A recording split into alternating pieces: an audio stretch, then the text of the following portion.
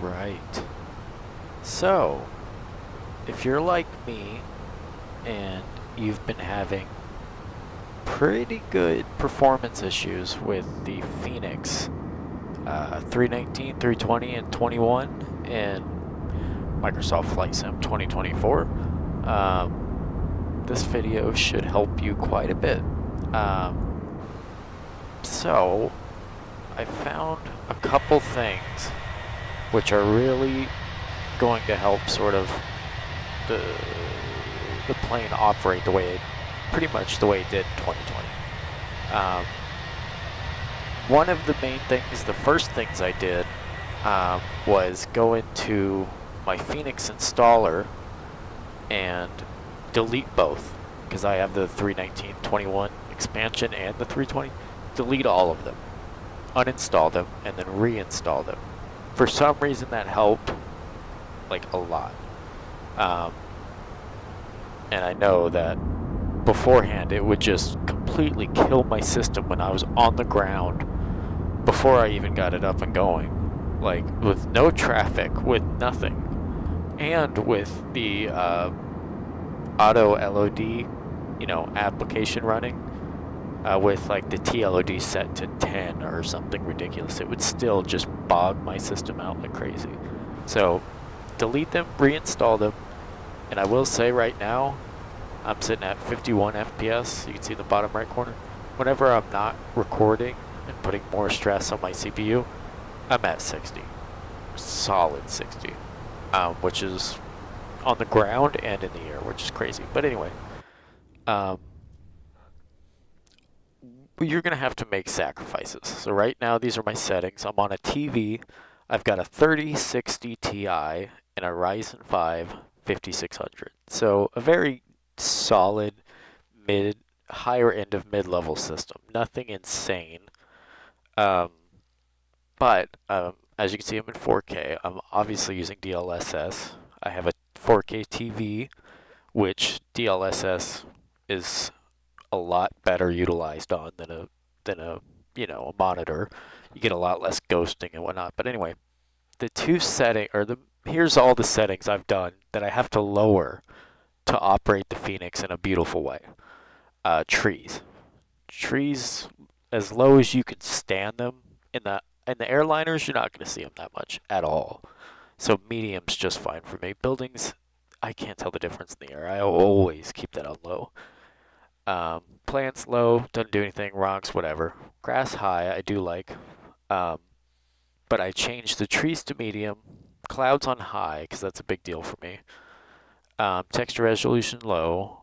Um, and when you're playing in higher resolutions, the texture resolution isn't very noticeable at all. This is off. I have it on in my uh, NVIDIA control panel.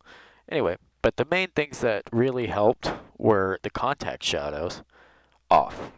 It's a slight difference, and honestly, I can't notice it. If you showed me side by side, I could probably maybe pick the one out that has it. But if you just showed me the thing, I'd go, it looks like Flight. Looks beautiful. You know, I, I wouldn't be able to tell, genuinely. Um, contact shadows off. That frees up your CPU. And then also, object level of detail as low as you can fathom. Mine is 10 because I don't care. It doesn't bother me. In having it that low, and then my TLOD is at 85, and that'll change with my altitude with the auto LOD. I could go higher, and I will as I gain altitude. Anyway, but the object level detail, I don't care. I don't give an S word, uh, so don't give me no S word. Um, doesn't bother me. So go as low as you can, because that's a big CPU one too. You always hear about TLOD, which is true, but OLOD and contact shadows, at least in 2024, make a huge difference. So go as low as you can. When you're flying the Fenix, that's the other thing. Get used to changing settings if you're flying a demanding plane. You're never going to find a full set unless you have a super nice PC, which most of us don't. I mean, look at the name of my channel, that's why you're here. You're not going to find a full setting that you'll never mess with. Um, that's just a hunch of mine. Maybe you're different. But for me, if I'm in a, a 152 I'll bump up the trees to high, you know, the clouds to ultra.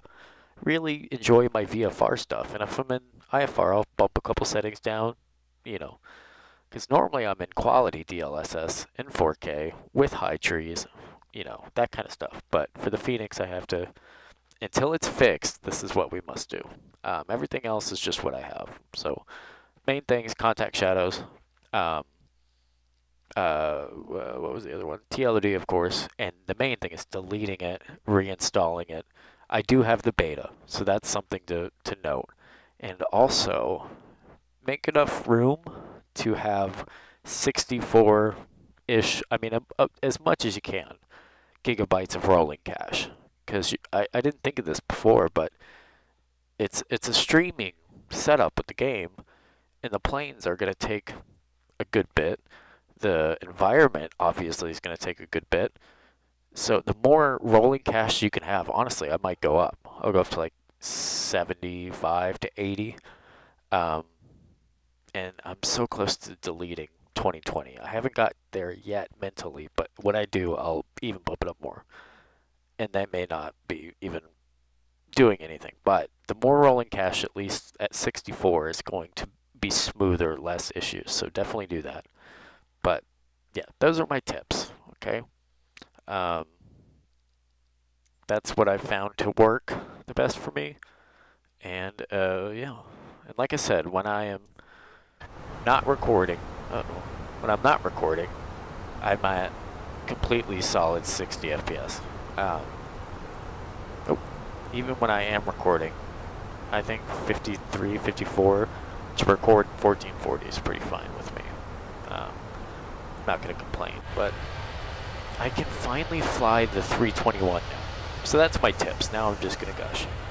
I've only been able to fly the 319 for so long, and I could barely even manage that. For some reason, it would just bend my system over and lock it up. It was like jujitsu. My system would just tap constantly like the little B word he is. And I could never enjoy the Fenix. So I started dabbling in the iniBuilds, and that's great. But it's not Fenix, you know what I mean. So I missed it. And now we're back, baby, and it feels amazing. And yeah, you lower some settings, but when I'm in the, the Cub or I'm, oh, my lights are still uh, when I'm in any other plane, the Learjet, CJ, anything, I'll bump those settings back up. I think this is a perfectly great experience in 4K for me, 1440 for you. Uh, I can go on VATSIM with this. I have enough overhead, and with the objects level of detail being as low as it is, coming, you know, into land, I don't really have much that I'm fully loading. I can have a, an airport full of VATSIM, this on with the object, or the, uh, what is it? Auto, or dynamic LOD is what the application's called. Here, I'll show you. With uh, dynamic LOD running, that's to handle everything I need. I can go on VATSIM. I don't have to worry about messing with different stuff. I'm having a good time, is what I'm saying. So try these out if you're having issues with the Fenix. I think most of my issues were CPU related, and I didn't even know that. Uh, I always, always, always think it's my GPU. When in Flight Sim, 90% of the time I'm finding out it's CPU being main thread limited. Even in 24, they said they were going to fix it, and I don't really think they did. But, um, target CPU intensive settings, even if it shows your CPU usage halfway, it's not, it's, it's going off the whole when Flight Sim 2020 and 24 use primarily one core. And it's not going to give you, I don't know how, there may be a way, but I don't know how to show just that one core. So when you think it's 48%, it's probably 97, you know, something like that. And I always think it's my GPU messing up, but it's my CPU. So lower CPU intensive things and you'll find just so much stability. Like doing this before would have just I don't even want to say the graphic thing that it would do to my CPU or to my PC. So give that a shot. Go bananas. Enjoy the 321 if you got it.